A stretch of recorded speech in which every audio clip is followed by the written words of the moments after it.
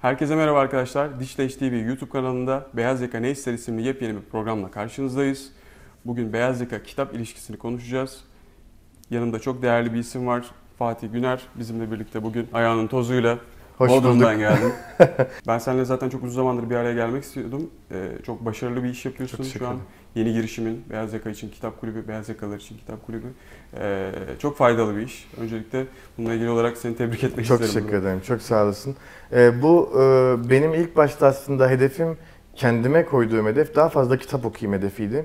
Ya kitabı okuyayım, okuyayım, okuyayım, okuyayım. Sonuçta 25 yaşına kadar her gece yatmadan önce bir saat kitap okudum. Ama sosyal medyaya tanıştığım zaman e, internette okuduğum içeriklerin kitap okumanın yerine geçtiği gibi bir illüzyona kapıldım.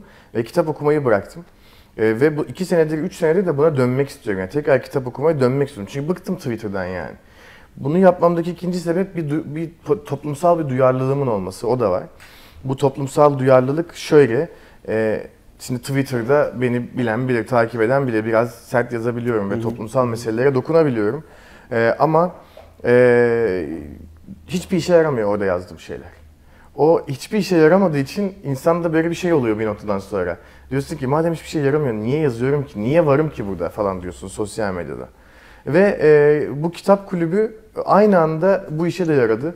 E, madem eğitimi eleştiriyorum, artık eleştirmeme gerek yok. Düzeltmek için bir şey yapmaya çalışıyorum en azından. İnsanlar kitap okusun diye ama en başta dediğim gibi kendi motivasyonum ben daha çok kitap okuyayım diye bir komüniteydi bu. Aslında hem So- seni hem etrafındaki insanları ve belki de zaman içerisinde çok daha büyük bir kitleyi mutlu edecek bir iş. İstersen kitap kulübü ve hani bu dijitalleşme ile birlikte e, kitap okuma alışkanlıklarımızın e, nasıl değiştiğini konuşmadan önce biraz e, Türkiye'nin geneli okuyor mu, okumuyor mu? Ya, okumuyoruz. Bu büyük bir derdimiz zaten. Yani Evet. Bizim zaten hani bu programın ilk bölümünde kitapla başlamamızın bir nedeni de bu. Önce en zor konuyu bir çıkartalım aradan. Çok iyi yaptınız Çünkü hakikaten. e, bu bizim içimizde bir derttir. E, bütün toplantılarda işte e, bir şekilde seminerlerde, konferanslarda falan e, günün sonunda eğitim ve okumama, Evet. e, okumama alışkanlığı bir Evet. şekilde gündemimizde. Bu arada okuyor gibi görünüyorlar biliyorsun değil mi? Evet, Ya o bütün da herke- enteresan. herkese, Okuyor her- gibi aynen, görünüp herkese sorsam böyle o inanılmaz kitap okuyor ama aslında okumadığını biliyorsun. 5 dakika Evet, mesela bir ortamda bir kitaptan bahsedildiğinde Aa, ben onu bitirmiştim. Aynen, çok fazla aynen, konuşulan, çok aynen. fazla e, dile getirilen bir Şimdi şey. şöyle Türkiye'de şu anda e, 600 milyon kitap üretiliyor yılda. Üretimi var bu arada, Var. fazlasıyla var. Dünyanın Ama 17. sırasındayız kitap tarafında. Okuma e, ile ilgili Şöyle, çok fazla data da yok. Mesela bunun- bir TÜİK dataları var. İşte herkesin konuştuğu. Evet. Günde işte Türk insanının e, bir dakika kitap Evet, okumaya ayırdığı ile ilgili. Evet. İşte buna karşılık işte 6 saat televizyon izliyormuşuz. 3 saatte internete ayırıyormuşuz. Hani bu hani ne kadar gerçeği yansıtır. Çok gerçek aslında. şöyle. Tamam, sen değişmiyorsun çok gerçek, aynen çok gerçeği yansıtıyor. E, data da bu arada e, onu destekleyici geçmiş senelerden gelen datalar bulduk bir yerden. Hı. Ben Oturup- bunu soracağım Heh. ilk olarak aslında. Sen bu işe girerken çok ciddi bir araştırma yapmışsındır eminim. İşte- Kitap okumayla ilgili. Neler buldun? Ee, yani seni böyle e, bir şekilde demotive eden eminim çok fazla data gelmiştir karşına. Geldi, geldi. Bunlardan biraz bahsetsene bize önce. Şimdi şöyle e, Savaş, e, komünite yapayım ve büyüyelim, hep birlikte kitap okuyalım deyip sonra bu işi e-ticarete çevirdim. Çünkü insanlar da aydan aya onu istedi. Okey çok güzel fikir. Ve çevirdik. İnsanların Hı hı. istediği şeyi onlara verdik. Ama e-ticaret demek dataya dayalı satış demek. Evet. Data yoksa elinde ne yaparsın? E, işte genç girişimci usulü yolunu e, işte karanlıkta bulmaya çalışırsın. Ben artık onu Datasız yapamam. bir business. Aynen ben Mümkün onu yapamam artık. Neden? Çünkü bir benim yaşım ilerlemiş. Genç iki, girişimci değilsin. Aynen genç girişimci değilim. İkincisi e, e, genç girişimcinin zorluklarından bazılarına sahip değilim. Mesela bu iş sermayesiz bir iş değil. Hı hı. Çünkü zor bir iş bu. Hı hı. 49.90'a 110-120 liralık kitap vermek çok zor bir iş. Kesinlikle. Çok zor. Şimdi e-ticarete çevirdiğimde çok hızlı çevirdim ve akabinde data araştırmaya başladım. Hı hı. Oturup yayın evleriyle toplantılar yapıyoruz hala. Hala daha yayın evleriyle bir sürü toplantı yapıyoruz. Çünkü yayın evleriyle çalışmamız birebir lazım. Hı hı. Ve yayın evinden aldığım dataları yazıyorum. Hı hı. TÜİK'in datalarını yazıyorum. İşte e, OECD'nin dataları var onları yazıyorum. Aslında Ortaya sektör çıkan- de çok kıymetli bir iş Tabii yapıyorsun ya. şu an Orada da veri sektörde yok. birikmiş Sen bir veri yaratıyorsun. yok aynen. Hatta bu video sana bir şey söyleyeyim mi? Bütün dataları versem bu video bayağı benchmark o, o kadar diyeyim sana. Ver abi o zaman. Aynen, aynen. Bir, e, Türkiye'de 2015 yılında 600 milyon kitap basılmış. Dünyanın kitap basımı sayısı anlamında 17. sırasındayız. Ama Ha, 52 Kaynak bin, nedir bunun kaynağı? e, OECD OECD. 52 bin farklı title yani farklı başlıkta kitap basılmış. Tamam. Dünyada 5. sıradayız. Farklı başlık. Hı hı.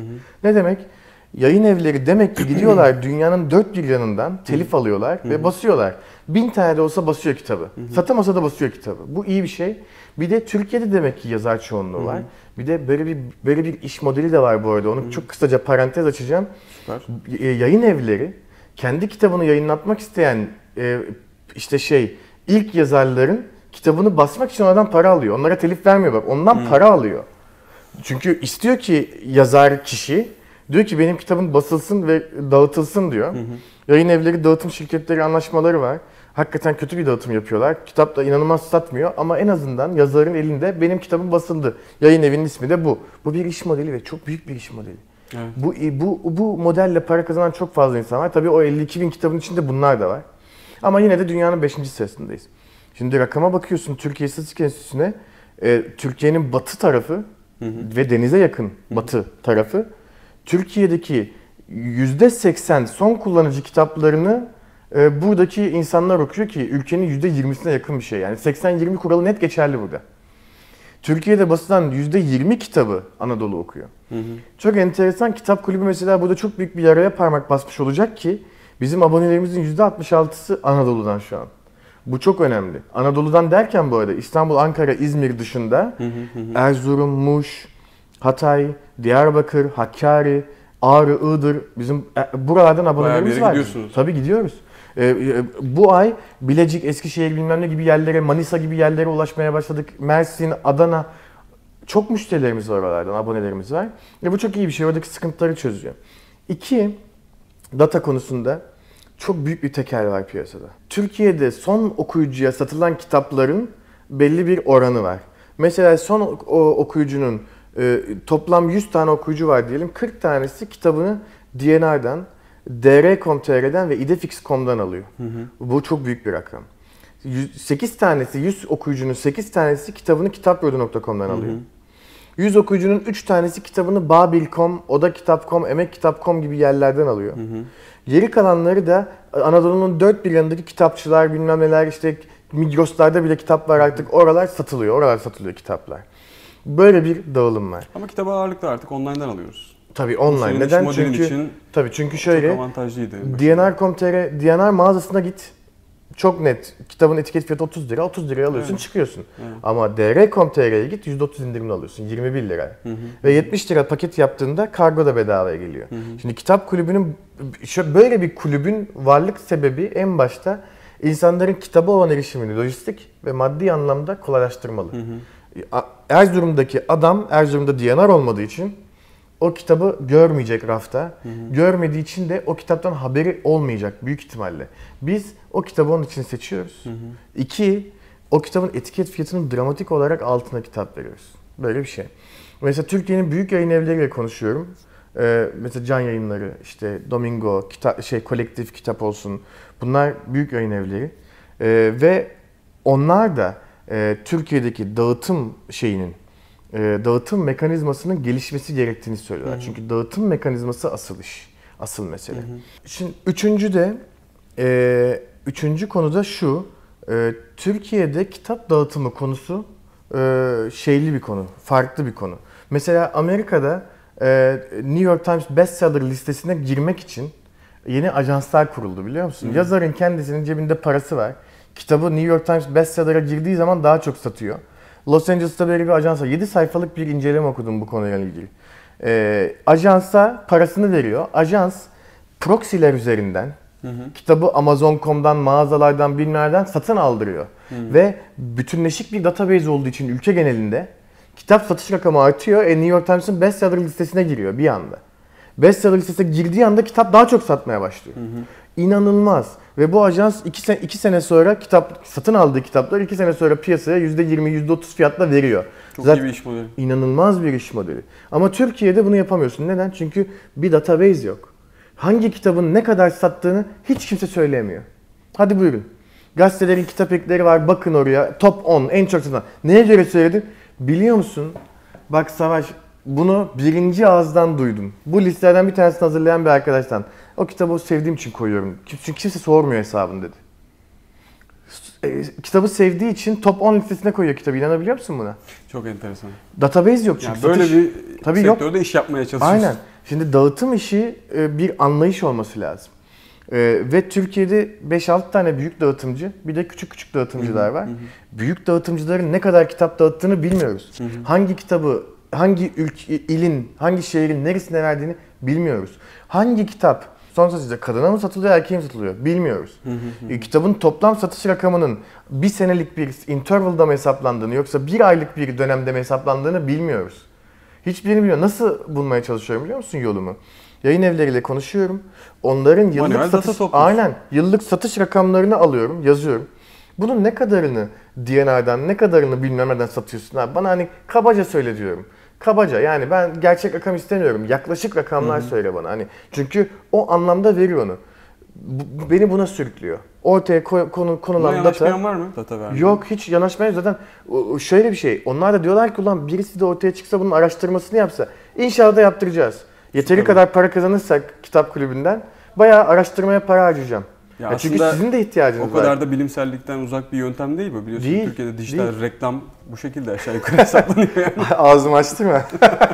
Neyse oralara Aynen. Ağzımı Oraya açtım. Ben sana şunu soracağım. Senin şimdi bir e, girişimci kimliğin var. Sosyal medya Joe'dan itibaren yaptığın bir sürü iş var. E, ve yani Türkiye'deki hem dijital yayıncılık tarafını iyi biliyorsun. Hem içerik e, üretimi ve e, gözlemlerinden dolayı içerik tüketim tarafına da çok hakimsin. Son böyle 5-6 yılda belki biraz daha periyodu genişletebiliriz. Bir 10 sene diyebiliriz. E, dijitalleşmeyle birlikte zaten hayatında çok fazla kitaba bir şekilde yer ayırmayan beyaz yakalı, beyaz yaka dediğimiz e, kitlenin e, hayatında içerik tüketiminde neler değişti? Ne, sence hani en, en önemli dönüm noktaları ne oldu? Kitaptan e, onları uzaklaştıran. Ee, sosyal medyaya çok fazla önem veriyoruz biz ve e, gereksiz bir önem veriyoruz. Bu beyaz yakalıların en sık yaptığı şey bundan bir buçuk iki sene öncesine kadar e, ondan önceki beş sene boyunca en çok yaptığı şey sosyal medyayı takip etmek. Sosyal medyayı takip etmeliyiz. Neden? Çünkü sosyal medyayı takip etmeliyiz. Neden? Çünkü cevabı yok.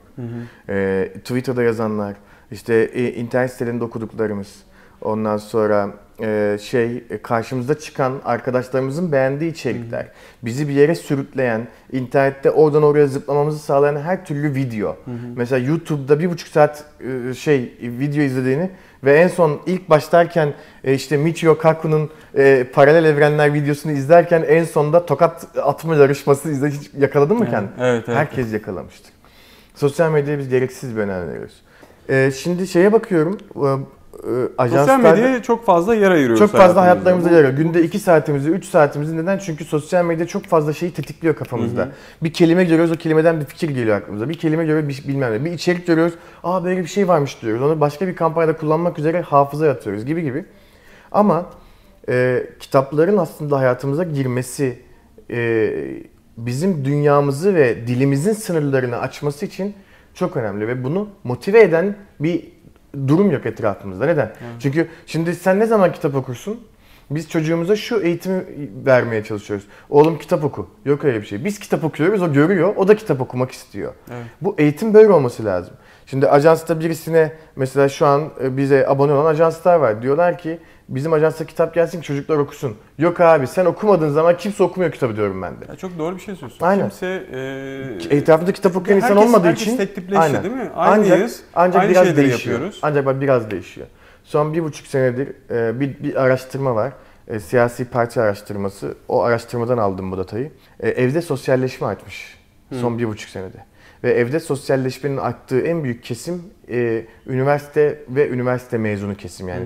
Lise mezunu ve üniversite mezunu kesim evde sosyalleşmenin Biz en bunu çok arttı. iş- işledik geçtiğimiz aylarda. Öyle mi? Evde olmanın dijital hafifliği diye. Evet. Yani özellikle beyaz yaka için işte evden çıkmamak, evde eğlenmek. Evet, okazyonlar evde. Eğlenceli içerikleri evde tüketmek. Aynen. Yani çok fazla araç var. Bu da dijitalin getirdiği, dijitalleşmenin getirdiği Ve bir kitap şey okumaya ama başlıyorlar. bunun yanına evet kitap da Aynen. yavaştan girecek. Kitap herhalde. okumaya başlıyorlar. Bu konuyla ilgili aynı zamanda yayın evlerinde de bir algı değişimi var. Onu da görüyorum. Mesela ne yapıyorlar biliyor musun? Adına novella denen şeyler çıkarttılar. E, novel mesela roman demek abi.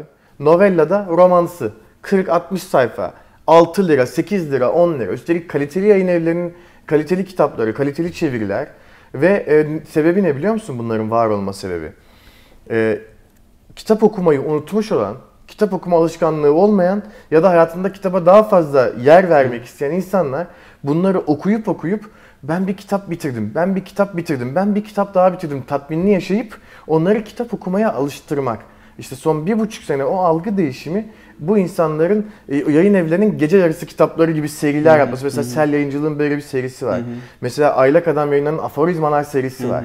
Küçücük küçücük kitaplar 7 lirayla 12 lira arasında fiyatları değişiyor. Ve bunları tabii internetten satın aldığından %30 indirimli falan alıyorsun. Şimdi hatta bizim de onunla ilgili bir projemiz var. Geliyor o da 2 haftaya kadar. Yani insanları alıştırıyorlar. Aynen alıştırıyor. Aynı kalecilere yaptıkları gibi. Kaleciler kendine güvenini kaybetmiş kalecileri çaktırmadan yine onları zorlayacak ama onların tutabileceğini bildikleri yerlere atıp onların güvenini geri getirirler. Tam olarak bu geçtiğimiz bir buçuk senede evde sosyalleşme mevzu özellikle bizim gibi insanların, beyaz yakalıların, üreten insanların, bilgi üreten işte şey e, bilim değil de ne üreten di- e, bilgisel dinamoyu çalıştıran anlıyor musun? Ülkenin bilgisel dinamosunu çalıştıran insanlar daha fazla kitap okumaya başladı. Ancak burada da başka bir sorun devreye giriyor. Sorunlar bitmiyor kitap Aynen için. abi. Kitap seçme konusu çok önemli. Bak kitap seçme konusu çok önemli. O da aslında biraz referansla yürüyen bir iş. Hani etrafımızda Evet. görerek Sen diğer bana an- anlatmıştın telefonda hatırlıyor musun? Dedin ki geçenlerde internetten 12 tane kitap aldım abi böyle 150 lira bilmem ne kitap aldım. Sonra kitaplardan bir tanesini okumaya başladım ama bir arkadaşım dedi ki bana abi mutlaka Sapiens okumalısın. bir günde bitirdim dedim bana değil mi? Tam olarak bu.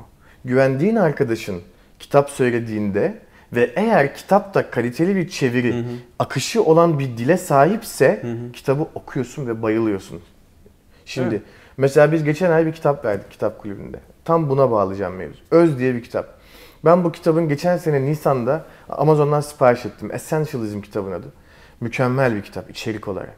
Türkiye'de getiren yayın evi maalesef iyi çevirmemiş. Hı.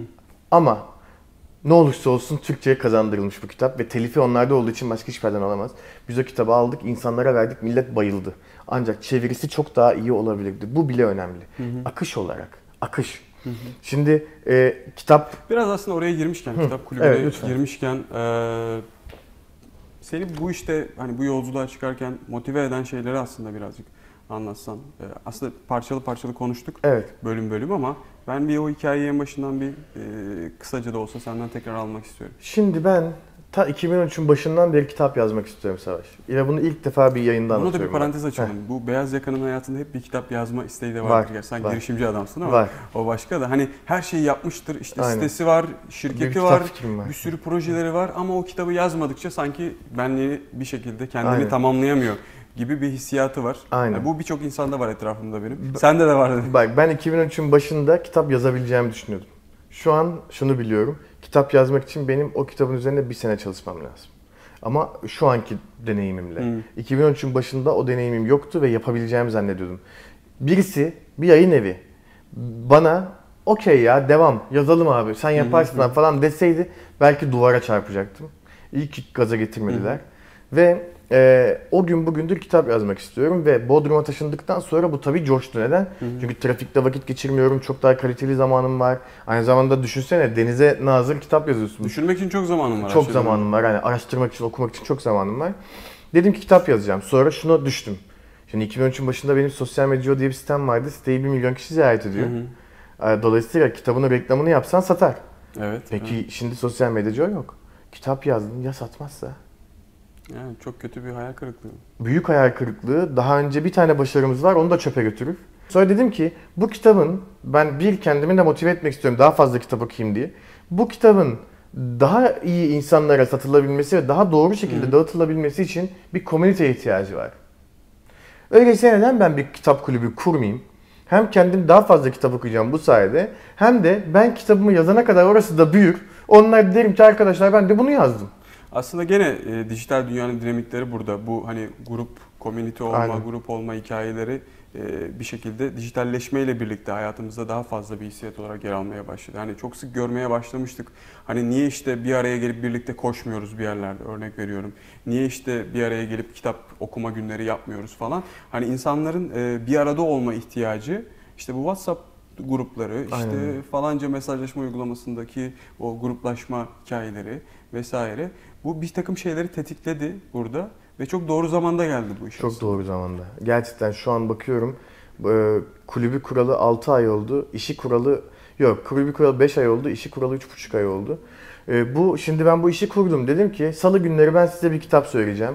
Pazar gününe kadar bu kitabı edineceksiniz. Pazartesi günü bu kitabı okumaya başlayacağız ve bir haftada bitireceğiz.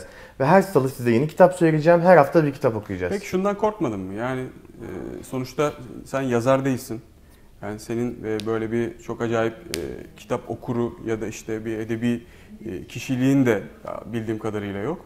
Yok, yok. Hani niye insanlar benim önerdiğim ya da e, çünkü sen bu arada bir markasın.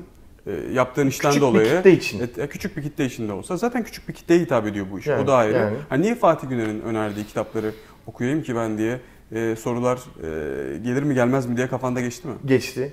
Ee, iki sebep var. Bir, aslında ben göründüğümden biraz daha etkileyiciymişim internette. Etkileme gücüm Hı. varmış. İki, ee, buna şuna bet ettim ben. Şunu e, şunu iddia ettim. Başka kimse sürekli ve düzenli olarak insanlara kitap önermediği için Hı hı. birisi bunu ilk yaparsa kazanır dedim. Ben ona Hı. bet ettim. Ama e, o gün bile ben benim internetteki kişisel gücümün e, farkında değilmişim. Hı. Ve çok enteresan. E, daha bir buçuk ayda millet e, 350 kişilik bir gru- grup oluştu orada, Hı hı. komünite. Ve e, şunu demeye başladılar. Fatih ya sen bu kitapları her hafta salı söylüyorsun ama yani biz bunu her kitabı birer tane alacağız, yedi fiksen alacağız bilmem ne falan uğraşıyoruz biz bununla. Hı hı Aylık aylık söylesen olmaz mı? Hı hı. Ben de diyorum ki ben bunu aylık söylesem sürpriz efekti gidecek burada. Hı. E, Bir de ben aylık söylesem belki iki tanesi diyecek ya ben bunları sevmedim. Kapağına baktı sevmedi onu. Hı hı. Diğer ikisini aldı onu okudu falan. Onu da ben istemiyorum. İçimden de şey bir, bir ses diyor ki bana benim babam yayıncıydı. Çok iyi biliyorum Hı hı. yayın evi piyasasını. İçimden de bir ses diyor ki bana Fatih diyor ya acaba bunlar satılamaz mı yani?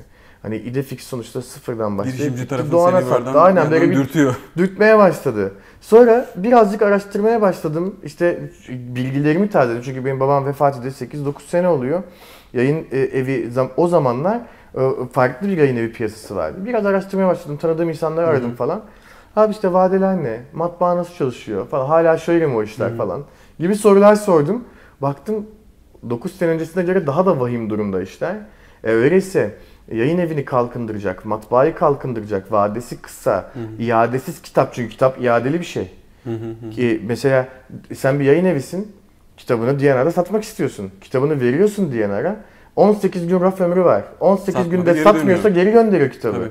Ve konsinye aldığı için sattığı kadarının parasını 5 ay sonra, 4 ay sonra, 6 ay sonra. Evet, çok DNR acımasız kuralları çok, var bu. Çok acımasız bir iş. Yayıncılık. Çok acımasız. O yüzden mesela butik yayın evi 10-12 tane kitap yayınlamış. Hı hı. Vadeyi çeviremediği için kapatmak zorunda kalmış. Evet çok yazık. Böyle oluyor bir şey. Böyle işler, Şimdi şeylerde. ben bunları anladıktan sonra dedim ki ben bunu satarım. Ve dramatik bir paraya satarım ben bunu. çok hızlı karar vermişsin. Çok hızlı, çok hızlı.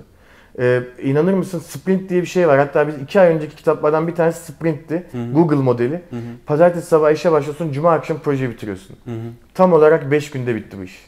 Süper. Bütün tasarımından metnin bilmem ne, altyapı, e, sanal post, bir de abonelik sistemi yazdırdık biz. Hı. E, şey, e, te- teknik olarak token alma deniyor buna. Hı hı. Kredi kartları BDDK onaylı bir işte bir sanal post şirketinde saklanıyor. Hı hı. Ee, Onlar bize bir token veriyorlar. Biz o token'la her ay charging request gönderiyoruz. Yani para çekmek için e, istek gönderiyoruz sisteme. Dolayısıyla insanın aboneliği yenileniyor. Hı hı. E, Bu sistemin olması lazım çünkü öbür türlü abonelik yenilenmesi için teker teker araman lazım insanları. Eski model Evet. cold calling yani hiç hoş değil.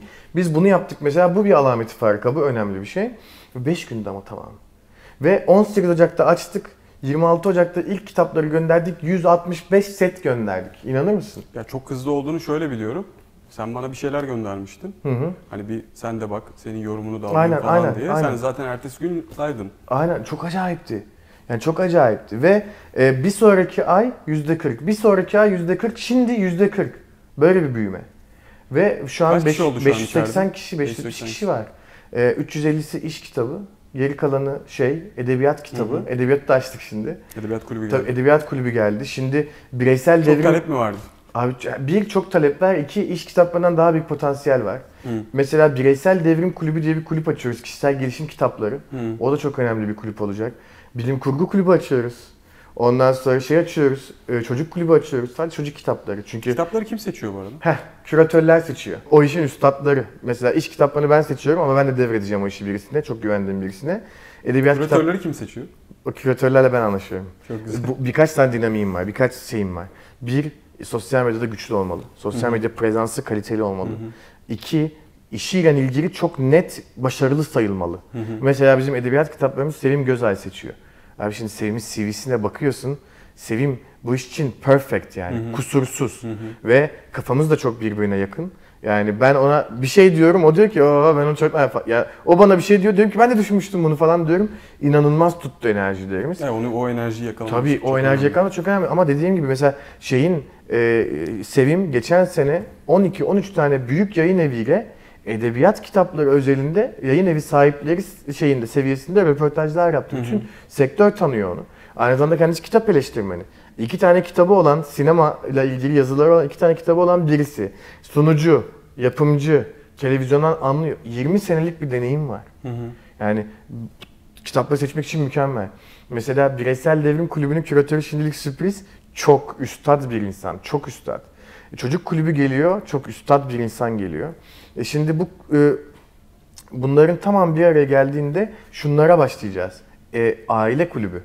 Mesela iş kitaplarından bir e, ya da iki, e, e, şey edebiyat kitaplarından ya da belki kadın kitaplarından iki, e, dört tane çocuk kitabı toplam aile paketi. Süper. Paket. Aynen. Aynen mükemmel. Düşünsene e, bir kaliteli kitap alacaksın. İki dramatik ucuz paraya alacaksın. Üç kitapların şöyle olduğundan eminsin. Kitap böyle. Neden? Çünkü kitabı seçen adam doğru. Ve en önemlisi ma ile kitap Aynen, aynen öyle. Okutacaksın. Çok önemli abi. Çocuğun sen kitap okuyor olduğun zaman bir saat dayanıyor çizgi film izliyor. Yarım saat daha dayanıyor çizgi film izliyor. Sonra gidiyor kitap şeyi var. Böyle bizim evde Ali'nin kitaplarını koyduğumuz belki 200 tane kitabı var eşeğin. Alıyor oradan bir tane kitabı. Anne ben bunu okumak istiyorum diyor. Şimdi kendisi yazıyor. Resimlere bakıyor. Sincap diyor gitmiş diyor. Oraya çıkmış diyor falan. Yazıları okuyamıyor tabii. Oraya çıkmış, buraya gitmiş, onunla konuşmuş, çok üzülmüş falan. Anlıyorsun böyle modeller var. Çocuğun senden senin okuduğunu görmesi lazım. Süper. Aslında senin yaptığın iş bir anlamda sadece beyaz yakalıya kitap okutmak değil, gelecek nesle İnşallah. bir şekilde bu işin İnşallah. tohumlarını ekmek. Yani bu iş çok özel bir iş biliyor musun Savaş? Yani e, içimden bazen böyle içim yükseliyor. Böyle e, tüylerim diken diken oluyor, gözlerim doluyor. Ya çok Tabii büyük olursa... Bodrum'dasın bir esinti falan. E, tabii, çok güzel. E, Peki, eee, sen hani birkaç ay oldu, Evet. 5-6 ay oldu de- demiştin. Yok, bu ay dördüncü gönderim ayı. Dördüncü gönderim ayı Evet. evveliyatıyla birlikte, E, beş- yaptığın beş buçuk gözlemlerle ay. birlikte. eee, şu dönem içerisinde bizi izleyenlere, eee, bizi izleyen beyaz yakalılara diyeyim. Şöyle 5-6 tane kitap önersen. Önerim. Ee, Fatih Güner beyaz yakalılar için kitap, kitap öneriyor, tamam. Buyurun, Kitap buyursunlar. önereyim. Ee, herkes yazabilir kitabı, Medyaket'in kitabı. Anne Headley diye bir yazar. Bizim ajanstaki tüm metin yazarlarına birer tane aldım bu kitaptan verdim. Hepsini. Ee, 72 farklı teknikle metin yazma, içerik editörlüğü, inanılmaz iyi bir kitap. Çevirisi de çok güzel, çok beğendim çeviriyi. 25 lira fiyat, fiyat da çok iyi. Kalın bir kitap falan Hı. ama 20 kitap fiyat da çok Bu arada iyi. sosyal medyada çok fazla paylaşım yapılıyor o kitap. Herkes yazabilir değil mi? Evet. Çok kaliteli, çok beğendim o kitabı. Ee, kesinlikle e, Sinaps diye bir kitap. Uğur Batı'nın kitabı, son kitabı. Ee, Doğan kitaptan çıktı. Ee, 10. kitabı adamın. Ve e, o kadar tatlı bir yere doğru geliyor ki kendi hayatında da. Görüyorsun, bütün kitapların akışından görüyorsun. Sinaps mükemmel bir kitap son zamanlarda. Bu Öz kitabı çok iyi bir kitap. Çevirisi maalesef o kadar iyi değil ama hiç yoktan iyidir. Esen, yani İngilizce okuyabilen Essentialism alsın. O da yani onun orijinali. Ee, Başka ne olabilir önerebileceğim? Sprint. Eğer girişimciyse kesinlikle Sprint okuması lazım. Sprint benim kafamı açtı. Pazartesi sabahı sahip olduğun fikri ortaya koyuyorsun. Cuma akşam bitirtecek sana o fikri. Budur abi. Eğer sen de disiplinli bir insansan, sevgilin WhatsApp'tan yazdığında hadi canım akşam sinemaya gidelim, işim var. 5 gün abi 5 gün yani iş kuracaksın 5 günde para kazanacaksın al ben yaptım 5 günde. Yani 110 saat çalışmayla bu iş bitti yani. Ee, şey e, sprint'i okusunlar. Ee, bir de zevk olsun diye akşamları 30'ar sayfa 40'ar sayfa okuyarak biraz kalın diye 30 ay 40 ay sonra Geleceği Keşfedenler diye bir kitap var Domingo'dan. Hı hı hı. O da e, Walter Isaacson'ın kitabı Innovators orijinal adı. E, hakikaten hikayesel Ben yarısındayım onun. Çok Öyle iyi mi? gidiyor. hikayesel olarak çok iyi bir kitap. Mutlaka onu okusunlar. E, bana çok mail geliyor bu aralar.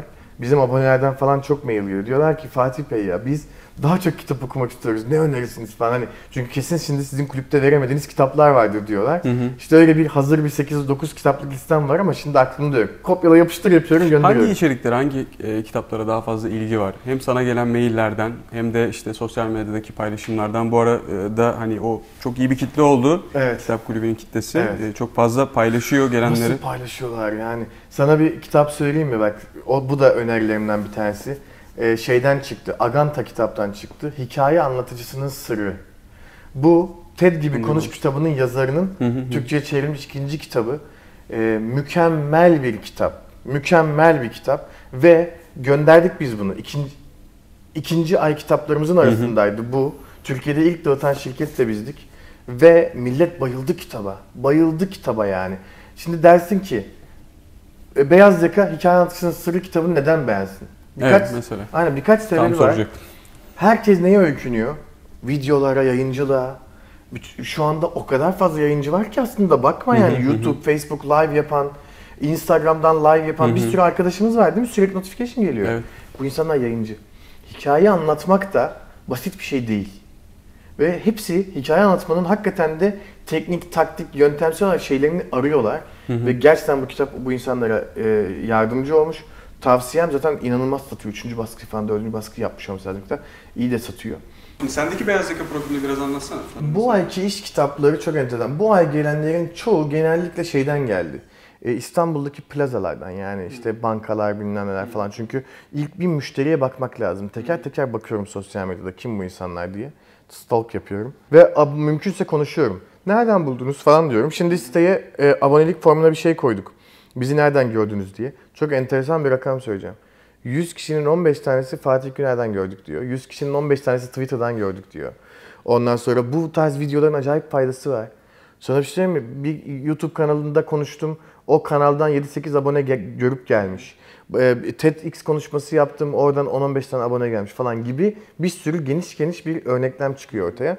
Ama iş kitaplarında şu anda e, İstanbul, Ankara, İzmir 100 kişi ise geri kalan Anadolu. Dediğim gibi erişimi olmayan yerler bunlar kitaba. Erişimi olmayan yerler ve e, oralara sen de gitmişsindir. Ben konuşma yapmaya mesela Anadolu'ya herhangi bir yere gittiğimde salonlar doluyor. Neden? Çünkü İstanbul'dan gelen insanların ağzından çıkacak şeylere bakıyorlar. Bilgi aç insan. Bilgi aç insanlar. İstanbul'da öyle değil. Geçenlerde Kültür Üniversitesi'ne gittim. E, Şey şikayet etmiyorum. Çok sağ olsunlar süper de bir kitle vardı orada. 40 kişi.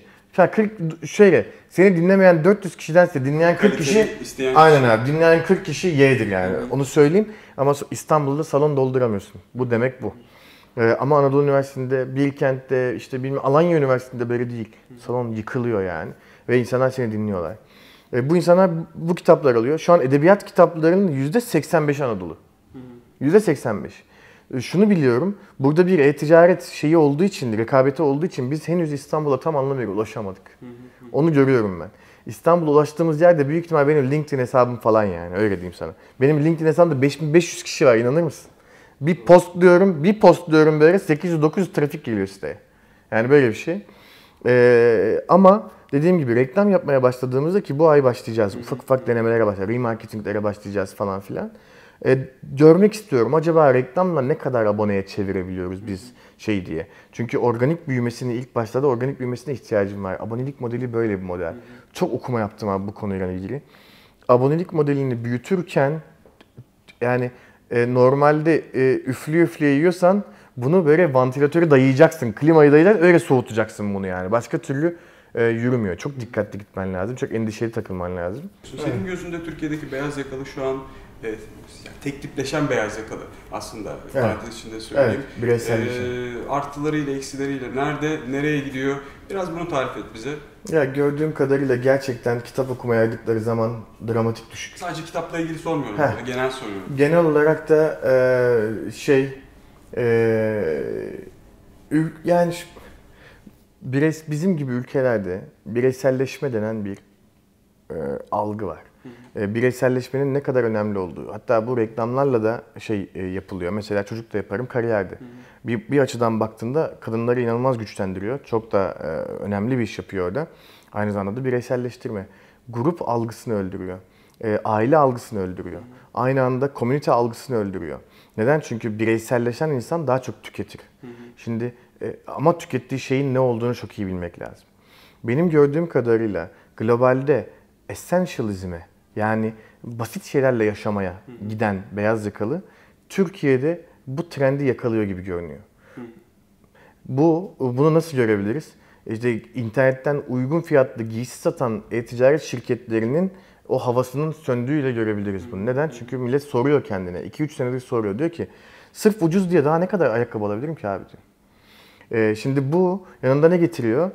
En basit şeylerle yaşama ve kişinin kendine yaptığı yatırımı getiriyor. O yüzden Türkiye'de slow food, kültür, beyaz yakaların arasında artıyor. Yapacak mısınız bilmiyorum bununla ilgili program.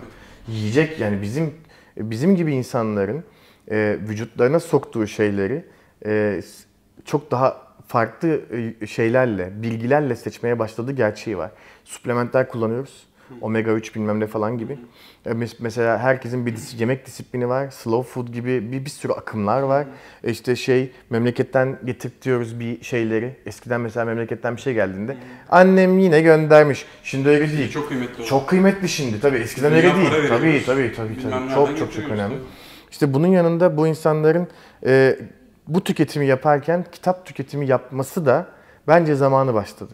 Galiba tam ben de tam zamanda yakaladım bunu. Ben kendim için ama. İş iş her zaman yapılır. Ben ona inanıyorum. İş kalite algın varsa, çalışkan bir insansa işi her zaman yaparsın.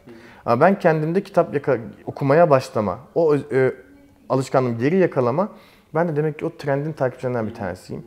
Bugünkü videomuzla ilgili bir de, bugünkü programla ilgili bir de küçük bir sürprizimiz olacak. Fatih sen paylaş istersen. Ee, Bugünkü programda madem öyle biz de bir izleyicilere faydamız olsun ve yapıyoruz da bunu. Başka yerlerle de yaptık. Ee, Digital Age'in YouTube kanalına abone olan ve de bu videonun altına yorum yapan 3 kişiye birer aylık iş kulübü hediyesi vereceğiz. O ayın e, iş e, kulübünde kitap verdiğimiz kitapların setini vereceğiz, hediye göndereceğiz. E, önce e, Digital Age'in YouTube kanalına abone olmanız lazım. Sonra da bu videonun altına yorum yazmanız lazım. Hepsi bu. Arkadaşlar duydunuz, takip edin, yorum yapın. Şahane kitaplar sizi bekliyor. Çok Evet, teşekkürler. ben çok teşekkür ederim Savaş. Çok Çok sağ olun. içerik oldu. Ya bizim ilk programımız için e, Süper. bence Beğenmenize çok sevindim. Beğenmenize çok sevindim. Çok sağ olun. İyi ki davet ettiniz. Umuyorum izleyicilerimiz de çok e, severek takip etmiştir e, programı. İnşallah. E, çok teşekkürler. Ben çok teşekkür ederim. İyi ki davet ettiniz beni. Süper. Sağ olasın.